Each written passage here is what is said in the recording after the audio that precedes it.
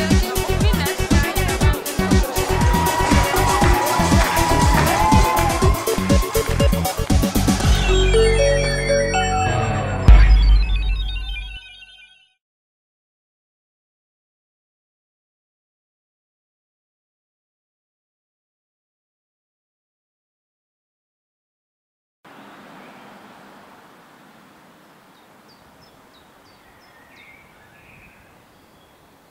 La communauté marocaine ou belgo-marocaine en Belgique représente plus de 500 000 personnes, dont 88% bénéficient de la double nationalité.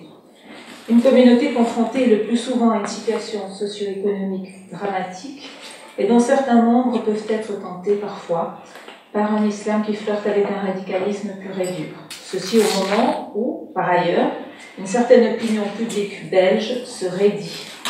Le risque de fêlure est réel. Comment bien vivre ensemble quand on sait, comme l'expliquait récemment Le Vic dans un sujet de couverture que vous avez certainement lu, qu'à l'horizon de 2030, le paysage sociologique bruxellois aura radicalement changé. Agir, prendre ses responsabilités, oser, le défi est immense. Dans ce contexte, la main tendue de l'ambassadeur du Maroc à la Belgique apparaît comme une démarche inhabituelle courageuse pour un diplomate, tenu, on le sait bien, à une véritable discrétion légendaire.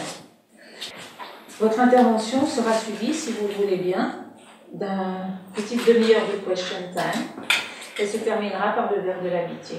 Bonsoir à tous.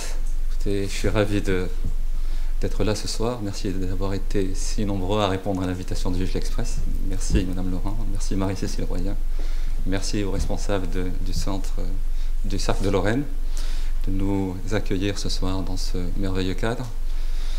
On a, il y a quelques mois, effectivement, euh, fait une interview dans le Vif l'Express avec Marie-Cécile.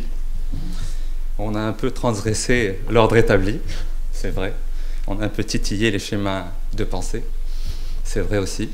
Ça m'a attiré quelques petits désagréments de la part de gens qui n'ont malheureusement pas parfois compris le, la teneur de mes propos.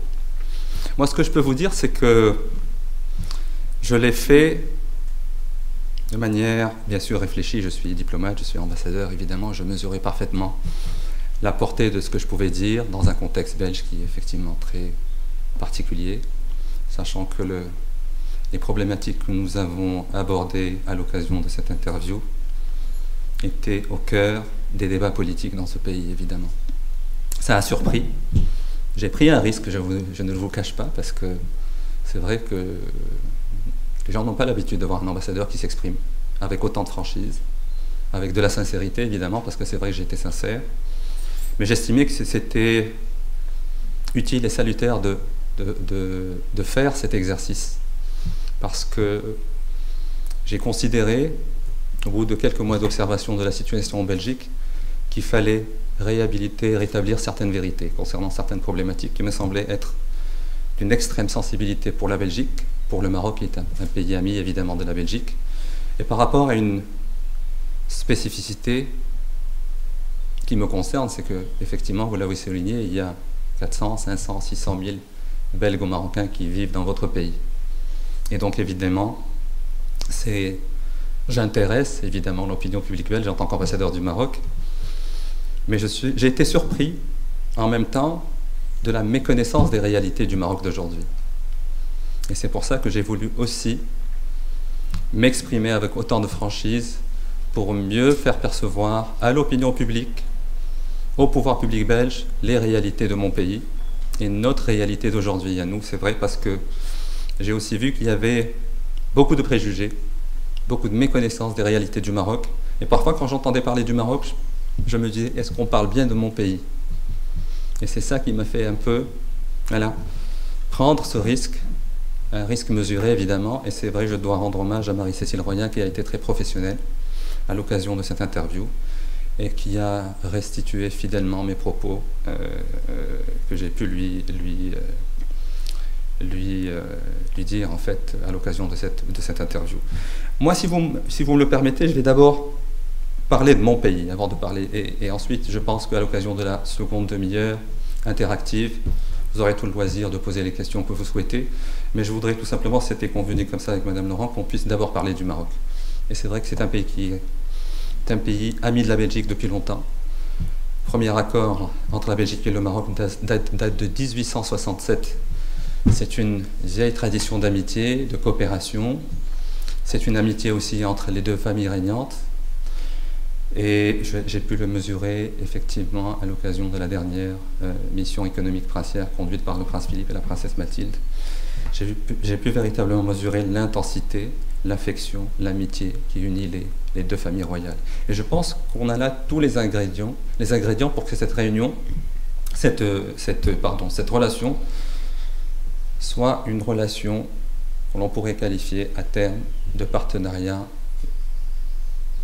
stratégique d'excellence, à mon avis, parce que tous les ingrédients sont là, à commencer par la présence d'une communauté marocaine importante, au sein de laquelle a émergé une élite extraordinaire. On a quelques spécimens ici dans cette salle, des gens qui, ont, qui sont belges, qui aiment ce pays, qui adorent ce pays, qui sont fiers de leur belgitude, qui travaillent au progrès de ce pays. Je regrette également que l'on ne parle pas assez d'eux, que l'on ne les valorise pas assez. Et c'est vrai qu'on a beaucoup plus tendance à parler les petits problèmes des jeunes qui font un peu de gravure à Saint-Gilles ou ailleurs, mais on ne parle jamais de cette élite, de ces gens qui travaillent, de ces gens qui, qui font beaucoup de choses pour ce pays et qui sont fiers d'être belges. Et nous reviendrons tout à l'heure peut-être au rapport de cette communauté d'origine marocaine à la citoyenneté belge, parce que je pense que c'est important.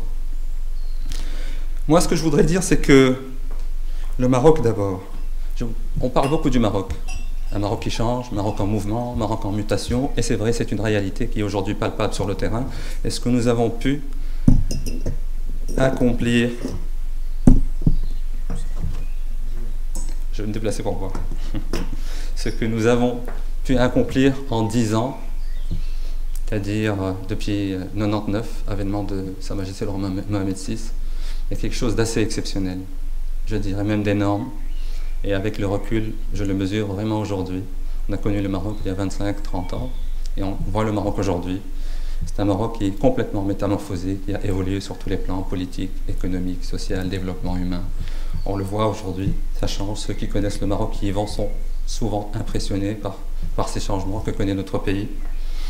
Mais euh, avant de parler de changements, avant de parler de, de réformes, avant de parler de, de projets structurants sur le plan économique, avant de, parler d'initiatives euh, importantes comme celle euh, concernant le développement humain au Maroc, je voudrais tout simplement d'abord vous parler d'une vision. Et c'est cette vision-là vision -là qui porte aujourd'hui ce projet de société marocain. je voudrais vous dire que l'amplitude et la nature des chantiers ouverts depuis 11 ans imposent un décryptage dans la durée. Chaque dossier aujourd'hui au Maroc peut être abordé indépendamment l'un de l'autre mais l'un additionné à l'autre permet de dégager une vision. Le Maroc traverse une étape cruciale de son histoire, marquée par de multiples processus transitionnaires qui n'épargnent aucun domaine, et je viens de le souligner.